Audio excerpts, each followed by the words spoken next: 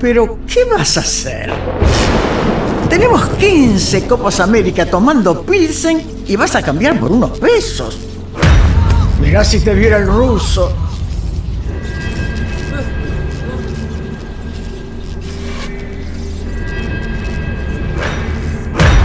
Mirá si te viera el cacha.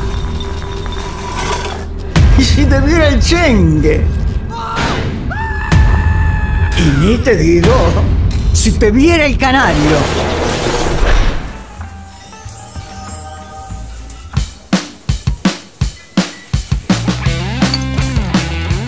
Viste cómo es. Hay que aprovechar que las Pilsen Mini bajaron a 29 pesos para alentar a Uruguay.